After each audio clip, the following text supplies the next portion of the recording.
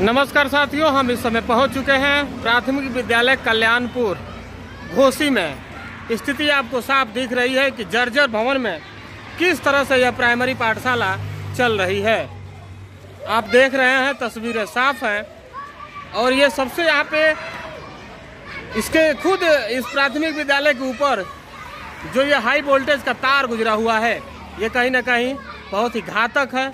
तस्वीरें साफ़ है कि आप खुद देखकर आकलन कर सकते हैं कि ये बच्चे जर्जर हो चुका है पूरा ये स्कूल, मगर आखिरकार सरकार कब लेगी इसकी सूद? आप तस्वीरें जो देख रहे हैं कि यह पूरी तरह से डैमेज हो चुका है, मगर इस पर किसी भी सरकार की कोई निगाहें नहीं पड़ रही हैं। आखिरकार बनारस और गोरखपुर हाईवे से ठीक सटा हुआ ये स्कूल है, प्राइमरी पाठशाला है। यहाँ से सामने आप तस्वीरें देख रहे हैं, ये गोरखपुर।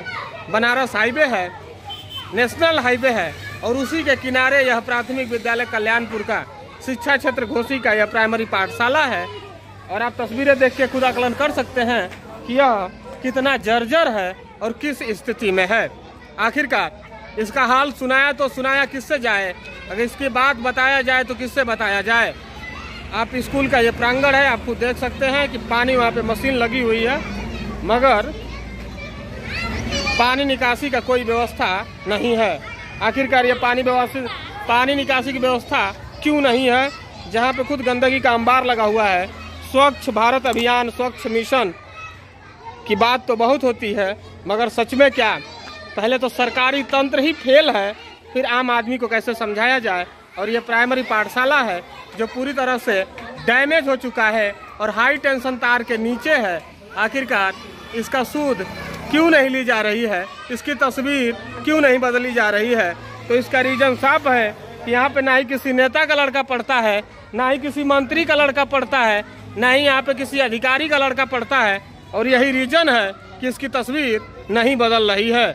अगर यहाँ पे किसी नेता का लड़का पढ़ रहा होता, किसी मंत्री का लड़का पढ़ रहा होता, किसी साहब का लड़का पढ़ रहा होता तो इसकी तस्वीर ज़रूर बदल जाती। मगर यहाँ पे गरीब घर के बच्चे पढ़ने आते हैं और आलम यह है कि हाल सुनाया तो सुनाया कैसे जाए, बताया तो बताया कैसे जाए, ये पूरी तरह से जर्जर हो चुका है। अब देखना यह है कि इसकी तस्वीर कब बदलती है और कब इसमें सुधार होता है। वैसे शिक्षा के लिए तमाम बजट बनाए जाते हैं। शिक्षा सुधार की तमाम बातें होती हैं, मगर सच में धरातल पे स्थिति क्या है, इन बच्चों की तस्वीर को देखकर खुद आकलन कर सकते हैं और सोच सकते हैं अरे सुनो सुनो। हाई स्कूल तो हम लोग का देवाल फाट गई बा डर ना लगेला। बच्चे हैं छोटे छोटे बच्चे इनको कुछ नहीं पता है। हम अंदर की तस्वीर और क्या दिखाते हैं मगर ये तस्वीरें हम बाहर से ही दिखाना चाहेंगे कि यह पूरी तरह से गिर चुक गिर रहा है। और ये घत, खतरे की घंटी है। आखिरकार उत्तर प्रदेश सरकार की कब आँखें खुलेंगी और यहाँ स्कूल की तस्वीर बदलेगी? आखिरकार कब बदलेगी यहाँ की तस्वीर और कब बदलेगी सूरत? जहाँ पे ये मासूम बच्चे आते हैं अपनी तस्वीर बनाने, अपनी तकदीर बनाने, अपना भविष्य बनाने, मगर जो बच्चे इस स्कूल को देख रहे होंगे और आकलन कर रहे होंगे कि जिसकी हालत खुद खराब है वो हमारी तकदीर का बनाएगा हमारी तस्वीर का बदलेगा? जिसकी सूरत खुद बिगड़ चुकी है, जिसकी सूरत खुद बिगड़ चुकी है, आखिरकार इन बच्चों की सूरत को, इन बच्चों का भविष्य क्या बनाएगा? और हम बातें क्या करें? तस्वीरें साफ़ हैं कि जर्जर हो चुका ये भवन। ये बताने के लिए काफ़ी है कि सरकारी तंत्र फेल है और यहाँ पे कहीं ना कहीं कमीशन का बहुत बड़ा खेल है और जिसके वजह से यह पूरी तरह से रुका हुआ है। इसका निर्माण कार्य भी नहीं हो रहा है। सरकार के तो बहुत दावे हो रहे हैं, मगर तस्वीर कब बदलेगी, सोचने वाली बात है।